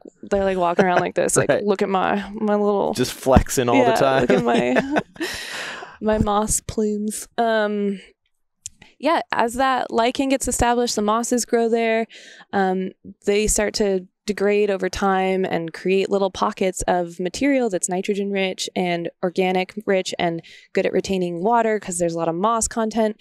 You get soil up on the root branches and you get little pockets of soil communities and then the tree will put out roots in uh, of certain certain species, yeah, Yeah, big leaf maple especially. yeah, they grow roots into the pockets of soil that's growing on their own branches. And then there are mycorrhizal fungus in the soil associated with the roots that's on the the tree's branches and in Right. it's like ah it's just so cool. It totally turns your understanding of, of a tree upside down because we, we tend to think of like the roots of a tree as the feet and then the body is like the or the stem is like the legs and the core and then like the head is up top. But like really like uh, uh, it's so much more complicated than that. When you can have a tree that like you know there's a nodule that comes out and this is like this is not scientific at all this is me anthropomorphizing this yeah go for like it crazy. But part of me likes to think that every time a new bud of some kind comes out of a tree, it has this like moment where it's like, where am I? right? yeah yeah It's yeah like it's like should I form a branch? Am I going to be should I just should I just be a leaf? Should I be a branch? What should I be? Am I a fruiting body? Or like in many uh, cases like cedars where you have like vegetative regeneration where they'll like they'll hit the ground Yep. and then like a tree will fall over and still be connected to the roots and a new leaf bud will come out and be like, "Whoa, I'm in the dirt. I'm going to become a root. And then like it becomes a root system connected to like vine maple. There's a ton of vine maple around here that are a great example of that. Yeah. Because vine maple will um, Vine through the understory. Exactly. Yeah. And as soon as like they'll like their branches will get too heavy at one point where it'll physically touch the ground and then a new little leaf bud will come out and be like, "Holy crap, I'm in the dirt. I'm I'm going to become a root." And it just all goes to helping the same individual organism or that tree. And it's the same thing up in the canopy. So you have like a little bit of soil there and a new little bud comes out and it's like, "Whoa, I can't be a branch here. There's dirt here. I'm going to become a root." Yeah. Yeah, totally. No, I Yeah. mean you, you're I mean, not wrong. Yeah, If trees I could don't- talk. If they had voices, yeah, they'd Yeah. probably sound like that. Quirky little cartoon voices of leaf buds popping out. yeah, I think so. I'm going to be a root today. Maybe. Yeah, exactly. Yeah. oh man, I could do this all day. I, forests are so cool. That's the way Um, I kind of like to like to envision it. And so um there's uh, Usnea is the common one. There's another one. So that's like Methuselah's beard. There's a common one that's old man's beard that's not the same. Do you know the differences between the two with the stringy of this? Yeah, this one's really dry, so we need to. I Oh, can is get it? some tea on it, um, and can sh- try to. I'll let it sit for a few minutes. We'll talk about something else, and then see if we can get it to. Yeah. Cuz that's that's a nice uh, bit of like an ID knowledge there for for fun folks trivia. at home. Yeah. yeah. Stay tuned for a little Yeah. surprise. We'll let this. Check back in like 5. They need to be uh, wet when you're trying to check for this. Um, another thing that I just wanted to note here, kind of coming back to this uh, alder branch here on the ground. So this is the um, Sorry. This is the lobaria lichen that we have found, and we've rehydrated the lower part here. You can see it's getting a little bit darker compared to the lighter part that's all dried out. So it's photosynthesizing here. So these lichen are kind of like specifically adapted to like where they grow. So oftentimes when a branch does fall to the ground, like this one here, all the kind of crust lichens that was growing on it and giving it that whitish hue have all died and exposed like the real color of the bark. hmm Um, I don't think. I mean, there's no question there. I just think that's a cool little observation. Oh yeah, and that's a. This is exactly the thing that what I try to do when I bring people into the forest is give that lens so that next time you're around and you're just like you're just walking and you and you're you would normally be looking at the ferns or the trees or the leaves or Mm. something.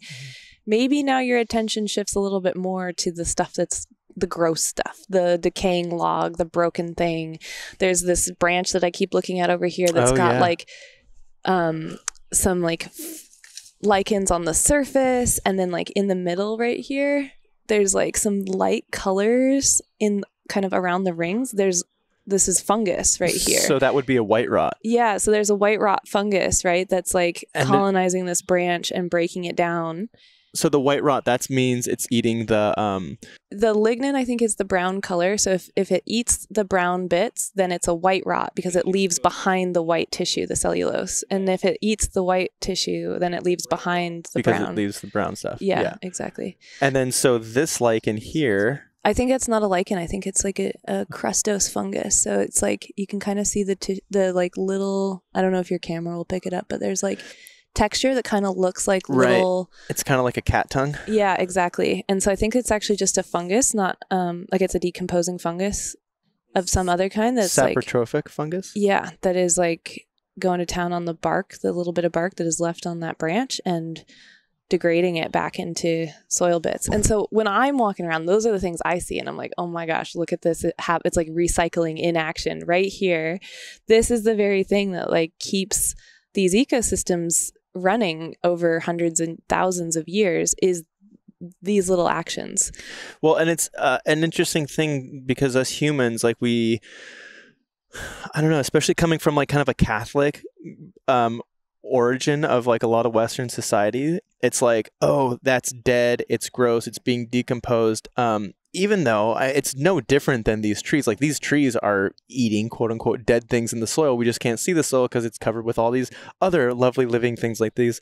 Oh, these gorgeous false lily of the valleys. They're my favorite. I know Look I how beautiful I they actually felt bad when we came in here. I was like trampling them. They're so pretty. So it's like when we see a fungus or see like a rotting log, we're so triggered to be like, oh, that's dead. Ew, gross, bugs in there, fungus. There's like things growing out of it. Same when you see like a, a body, like a corpse of like a bird or yeah, something. Yeah, yeah. It's like, ew, dead. But Yeah. like that is just like a more visual representation of what's happening all around. Like it's all part of the cycle. Oh, totally. And it's actually that piece right there when I think about to bring this like really full circle to stuff we were talking about at the beginning, living in sync with existing cycles. It's that step that we're often missing.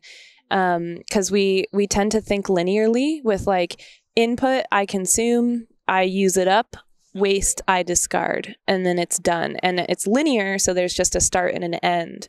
Whereas basically nothing works that way. Almost nothing is truly linear. It's transformations in cyclical patterns. And sometimes those cycles are spirals that lead somewhere else. It's not always a perfect circle, but almost every transformation leads to something else. And sometimes that's a complete circle and it just cycles around and around the same space. Sometimes something gets produced and used and then changed and then consumed by something else and then shifted, but everything gets consumed again. Like there's no waste that is just the end product in natural cycles. And so when we think about like how to live and and live in health and live comfortably, but live in a way that's in sync with those cycles, those are the questions I like to ask is like, what is my end product? Is it really truly just waste that I discard, or is it the substrate for something new? What can that be broken down into and re and recreated? And that that process both metaphorically and literally is like where I look to microbes because they teach us so much about it. Metaphorically about how to like think about reusing things and what would seem as waste can actually be a food source for something else or substrate. But then also literally, they literally can also help us break things down and, and reuse them. and even like on a more philosophical perspective on that too like i don't know there are so many things that like we think about where it's like it seems like it's a waste or like the end of a chapter the end of a Mhm. life it's like uh, but like what did you learn? What does that what does that give you? Like how can you reuse that knowledge or experience to like grow? Yeah, continue to grow? Totally. yeah. This Um, is all soft again if you want to quickly. oh yeah let's talk a about little- There's some just just a little fun fact about usnea. So this is what it looked like before, dry. All dried out. crusty. If you get it moist again, and you're ever wondering if you have usnea or some other lichen that looks maybe similar, the central cord there it's stretchy. So you can see that it's like reacting kind of rubbery. And then if I get up close, this cord, there's like a rubbery strand in the middle. This has got to be so challenging to see with the camera. But it's actually iphones i'm like pretty impressed right now so do you see that like rubbery cord in the middle when I stretch it? So the outer shell has broken, but there's like a thinner inner strand that's like really stretchy and rubbery. There you can see Yeah. little bit. Well, and you just broke it, so that that center cord that you're hanging onto right now is that kind of rubbery cord. Yeah. So that's usnea. It has that stretchy ability, which is what lets it grow um, up in the tree branches and like drape across multiple tree branches. And then as those trees sway in the wind and they stretch it and stuff, Mhm. it kind of gives it some, Some rebound. yeah, an ability to make those really long strands. Right. Anyway. What is it made of? Or it contains um Oh, Adam. I'm pretty sure that it's collagen that I'm thinking of. That like central cord is what like gives it its like rubbery kind of rebounding thing. So That apparently, if you like make tea out of that, um, Mm. an usnea tea, Hmm. yeah, it, you can get some collagen there, which um, you know, people love for keeping their skin healthy. So Yeah. I hear, I didn't know. yeah. I mean, I know. I know. Usnea tea is a a traditional medicine that's um like widely used and has been for a long time, but I don't know the uh the details of what it does. um, I guess like you're not a lichenologist. Do you know much about cladonia? A little bit. Like I I know what they look like, and I know they're really cool and cute and fun. But They kind of remind me of um a little coral reef, cladonia. Mhm, They're mhm. beautiful, but they're like the main food source of caribou. right. and so that's like a, a big issue uh, kind of more into the interior where like caribou Yep. herds are dwindling Mhm. because we've logged a lot those lichen take a long time to grow up in the forest canopy and basically it's the primary food source of caribou um, when they when the lichen breaks off from the canopy and finds its way down to the snowpack they'll dig around and like pull them out of the snow and, and that's how they survive the winter months Yep. Yep. But since we don't have a lot of those old growth forests remaining, um, there's less of it around. Yeah. It's intense. Yeah, I think that there's a lot to old growth forests in terms of their environment, their ecological services that they play that again are invisible to us. So we love old growth forests because they're also beautiful, right? Walking around in them, the diversity of the canopy structure and the way the light comes through and all the different layers. They're aesthetically pleasing. They're just nice to be in. But there's so much of why they are valuable that is stuff we can't see. And again, it's it comes down to these like microbial dimensions that are that are out of sight but that level of um, diversity biological complexity that evolves and takes a really long time to get there serves really f- important roles that are hard to reproduce in a secondary growth forest artificially right so we try to do things a lot of the time to mimic old growth forest structure in secondary growth forests like cutting down trees and creating a, a, a patchier canopy and that can accelerate the rate at which we reach that but there are just some things that just take time and Right. it's and you and it's hard to replicate that in any other way than just letting the forest reach that stage.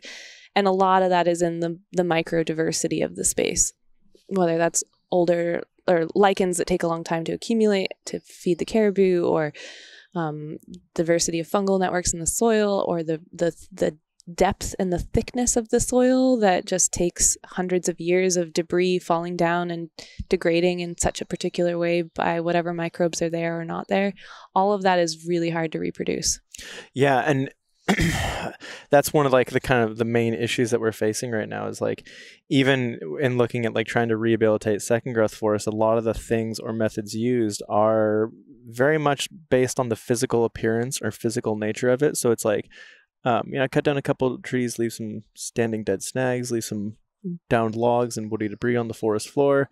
All these different things that like aid in not necessarily replicating old growth characteristics, but speeding up those processes. Yep. But the issue is that like when we're still looking at managing these lands for the end value of being timber, like those forests aren't ever going to truly achieve that old growth stage because it's like we're only looking at the forest for the trees. Like we yeah just hope to recreate more trees so that we can build more things. Yeah. And so long as we're logging, which like I'm not I'm not against all logging um, no, it's by just any like means. logging smarter. yeah, and so long as we're doing it, we should continue to do those things that help replicate those valuable structures and qualities of for of old growth forests in our second growth forests. We just I think need to remind ourselves that those are helpful, but they're not a sufficient replacement for the the complexity and diversity of a of a real old growth forest. We need to protect those ecosystems of what we have left because they are not reproducible in our in our timelines. Yeah. Well, and in our kind of myopic way of thinking too, even when you look at like expanding the, values that you could manage a forest for beyond just timber to like including cultural, social, eco- ecological values, those are still like relatively limited in that like some take precedence over others, and it's like if if you were to be managing a forest for ecological values. Tim, like if balancing timber, cultural, mm-hmm. ecological values, Yeah. like the length of time it takes to establish a bacteria is probably like lowest rung on the priority pole you know? It's like yeah, it's like okay we can do all this stuff we can get some mosses back we can maybe get a marble murrelet which would be incredible you know like kind of bring back the diversity of the megafauna that we love so much but Mhm. when it takes when it comes to like taking the time to like actually make sure that this ecosystem is functioning and returning those different nutrient cycles back to their full capacity Yep. um, it's a lot different and Yep. so we end up relying on fertilizers and pesticides and things to kind of like yeah, exactly. Yeah. And I the thing is we haven't been logging and monitoring forests long enough to really know, but the studies that I know of, again, this is no longer my like area of expertise, but from what I know of, um the trying to estimate how long it takes for some of those qualities to come back after a forest has been logged, it's it's not within hundreds of years. It it may be thousands before they really fully reestablish. And if you think about it, that kind of makes sense. If, if returning to the glacier question, you know, it takes a few hundred years to even get those trees there in the first place, the the bigger conifers, and it's gone. It takes many cycles of those trees before you start to establish those really thick soil layers and the nutrient cycling um, patterns that sustain the the the full complex diversity of an old growth forest.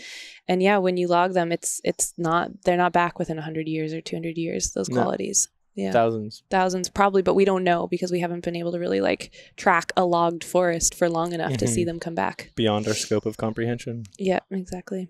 And, and that kind of goes back to, I guess, what we were talking about at the beginning, and what I kind of want to like wrap this up with is that like we tend to look at things in the world and live our lives and build these systems that we live in based on the way that things look, based on what we can Mm. see, based on how we can interpret things. It's like based on the physical, visual values that we can interpret. But there's so much to this world that we don't know and are constantly learning about and that are like beyond our scope from these microbes in the soil to the bigger kind of broader pictures that they impact hmm um, how do you see us like fitting in and from like a science perspective what are you kind of like and like what what would you like Im- try to impart on people from a perception level Yeah. So when we think about science, um, or when we talk about science, we tend to treat it like this, um, like this like textbook body of knowledge that is the authoritative,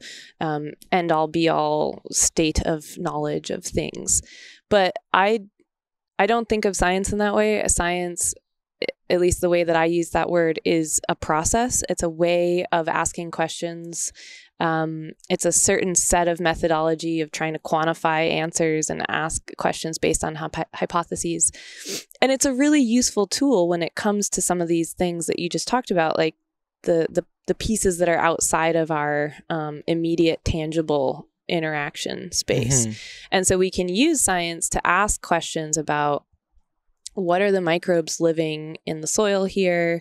Um, what kinds of processes are they doing? Um, what kind of changes are occurring on a large scale in this ecosystem? Is the nitrogen staying in the soil? Is the nitrogen washing out to the ocean? Is the carbon being sequestered or is the carbon getting released back into the environment as CO2? So we can use science as a tool to, to ask some of those system level questions and then um, try to make decisions about how to manage the space or at least how to interact with it in a way that is more in line with the goals that, that we wanted um, out of that space. And not just like for our own benefit but like what we want for the for the health of that ecosystem in the long run. Um, well i think it's important to acknowledge the fact that like science or that body of work that we kind of rely on for those answers is always kind of changing and growing like yeah exactly it's not just like everything in the natural world like nothing is set in stone but Yeah. that that contracts a lot or contrasts um, a lot of what we've come to i guess embody as a society like we liked we liked fixed answers and fixed things we like sure Yep. Yeah. sure bets and things that like aren't going to like waver or be wiggly we like to put things into boxes and have defined answers but that's not the way the world works It's not, and it's not the way we learn, and it's not the way that we know either. I think we we're a lot of our school system trains us to think that knowledge or, or knowing things is memorizing a fact and regurgitating it on a test and getting it right, and there's a right answer.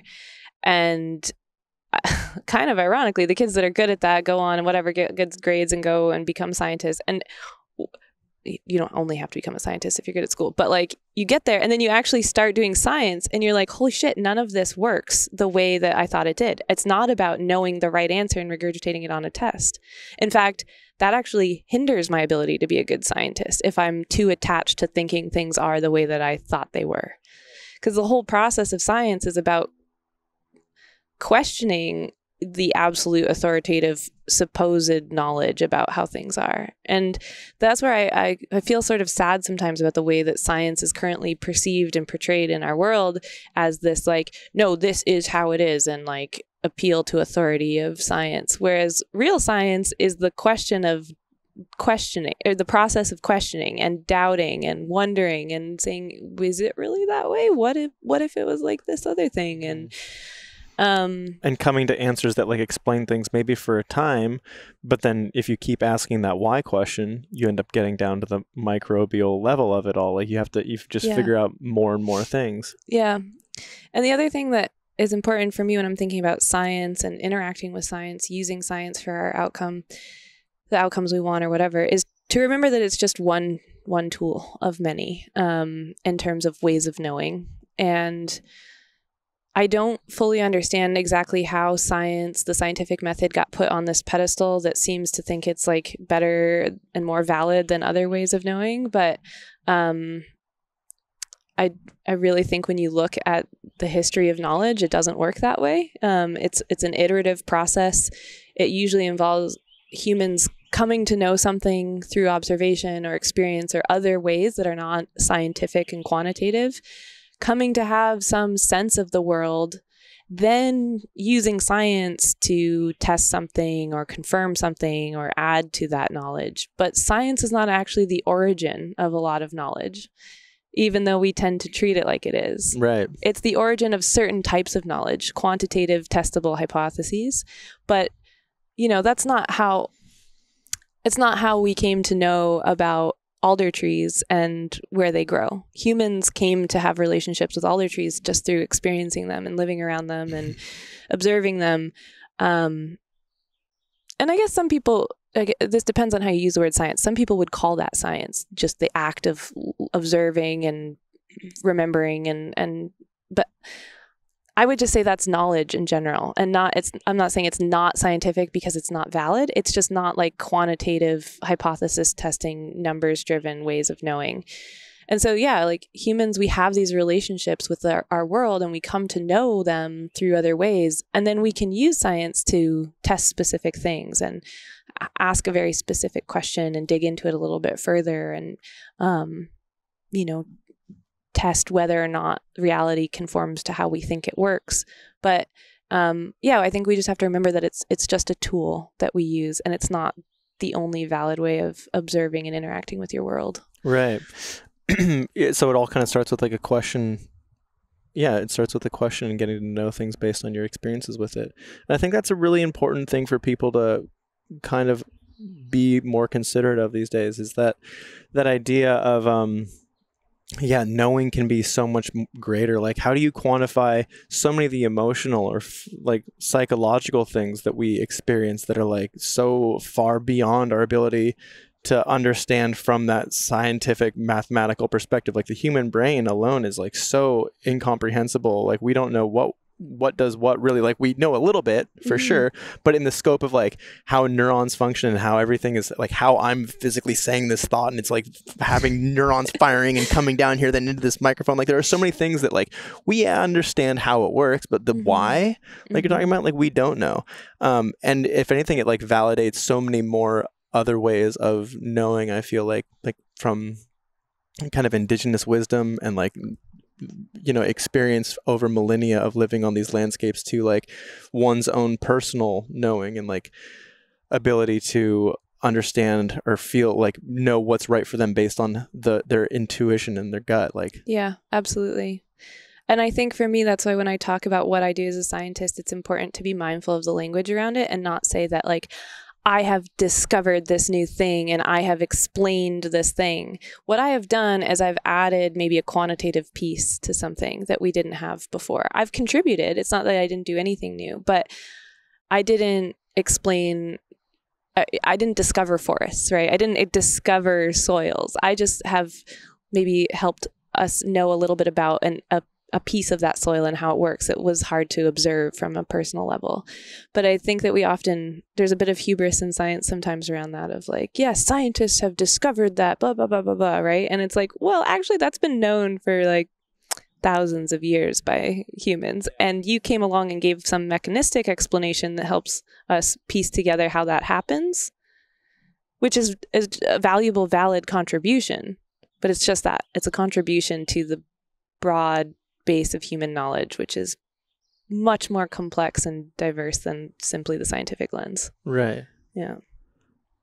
awesome i love that yeah. um is there anything else you wanted to chat about or would like to add Um Yeah, I don't know. I would just say like as you for folks who are listening like as you're in these spaces that you love and appreciate if you can think about what you might not see. Try to look at the world and look at the pieces that um you i say look at them. Look at the things you literally can't look at. But try to try to like look past the surface of what you observe and ask yourself like hmm i wonder why. And sitting with the question is just as valuable as knowing the answer to that question. Just looking at something and and being like i i wonder i wonder why that log is soft and squishy and mushy compared to this other one or i wonder why the soil is dark and wet here or light and fluffy there and i wonder why like wondering about why things look the way they look rather than just simply observing them and thinking they're beautiful that action in and of itself is what brings you into that space. You don't have to know the answer and we don't know a lot of the answers to those questions but just thinking about what might be happening right beyond the surface level impression is really for me at least what like opens up the magic of these spaces Right. that to me is the door to like what literally gets my heart racing and i'm like oh my goodness this place is incredible because you suddenly realize there's just so much more to it than what you see on the surface Yeah. and so living trying to live in that space i think will like bring these spaces alive to an even more magical way than than what they do on the surface and create so much more joy too. Mhm. Like I think a lot of um a lot of industries and a lot of things within human lives like be, things become so stagnant when you think you know everything Yep. and you think that like oh like i know what these trees are because i know how to identify them but that is just the Exactly. surface of Yeah. like understanding them or even coming close to understanding them and i think the more that you like learn to ask questions about what you're doing and, and like beyond forest stuff like even even in you know your day-to-day life um yeah why certain systems or why certain things function the way they do I, I think th- it just it, it adds an air of humility that I think we all need to be more conscious of and like em- embrace more in this kind of crazy world that we live in because we've in a way like we've gotten into this like quote unquote mess of climate change and Mhm. and all these like big issues we're facing because we thought we knew Mhm. and we were acting on what we thought we knew and like the way things looked and like the kind of most immediate gauge of of the- why. Yep. But now that we've like dug into the deeper why this happens and why how that contributes to this and yada yada going down the rabbit hole we've under we've now come to understand this like bigger broader um, impact that we didn't necessarily mean to have. And it's like we need to embrace the fact that we don't know everything. Yeah. And it's like find comfort in that. It's beautiful. It's yeah. one, it's it's so uncomfortable when you've lived in a space where the where the correct thing and the good thing and the safe thing was knowing the definite answer. When you live in that space and you're raised in that way, it's really uncomfortable to not know. Mhm. But once you learn that it's it's not only okay and safe, but also kind of amazing to not know, then you open up, you give yourself the permission to just be in awe and Right. wonder and like just wonder and and realize that some of the beauty is in the complexity that's so far beyond what we can have a definite answer for. right hmm yeah Yeah.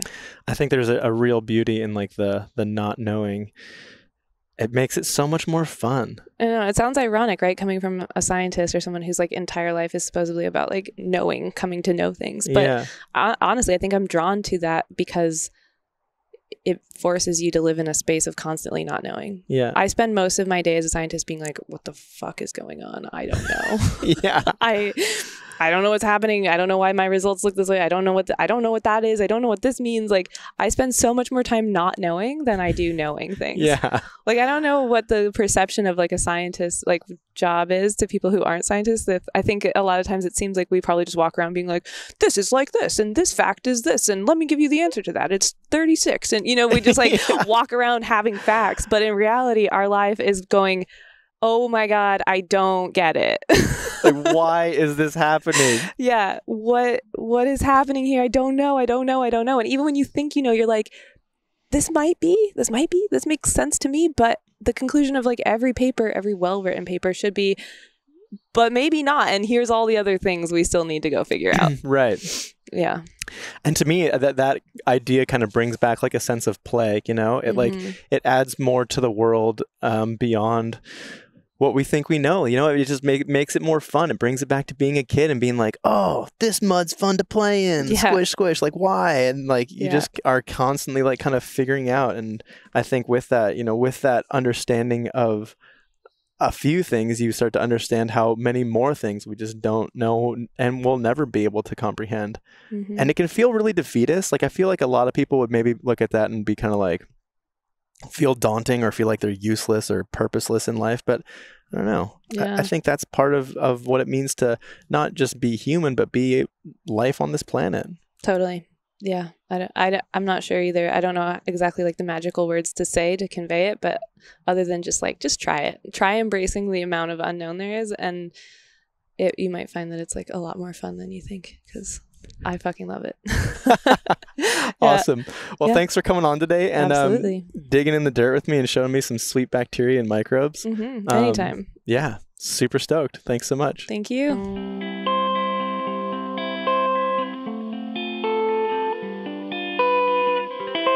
Wow. Tiny, tiny microbes, big, big nerds. Super pumped on that info pack conversation I was able to have with Julia. Thanks to everybody who tuned into this. You know, I'm still frothing over all the nerdiness we were able to get into. In fact, I had so much fun with that conversation that I'm going to have Julia back here again in a couple weeks to talk about more microbes, but in an entirely different setting. Something you might be familiar with. It's pretty big, um, blue, tends to be really wet, and it takes up most of planet Earth. I'll let you kind of surmise from there what we might be talking about, but you're going to want to tune in because that one is guaranteed to be a banger for sure. So, if you've enjoyed this podcast episode, and I truly hope you have, you can do me a solid by liking it, sharing it, rating it up wherever it is that you watch or listen to your podcast, and spreading it around all across your favorite social media platforms because Nerdy About Nature is an independent passion project, and as such, it relies solely on support and stoke from folks like you. Stoke for spreading it around and sharing these messages and getting the word out, and support on things like Patreon, where you can become a patron at patreon.com slash nerdyaboutnature for as little as $1 a month. I've got all sorts of great tiers there and prizes and packages from little sticker packs to the ability to ask me a question about anything nature related to which I will answer either on an Instagram video or here on this podcast. So if you're enjoying the work that I'm doing from the videos you see all over the internet to these podcasts that you listen to or watch here, I would really appreciate your stoke and support. Thank you so much to each and every one of you that has tuned into this podcast episode. I hope you're really enjoying this whole podcast thing I'm doing, getting something out of it. Maybe it's become something that you look forward to, these kind of casual, fun conversations about cool nature stuff around us. And I can't wait to catch you back here in a couple weeks with some more nerdy content. I've got some amazing guests lined up. And uh, yeah, it's going to be a super fun time. So I'll see you then. Take it easy.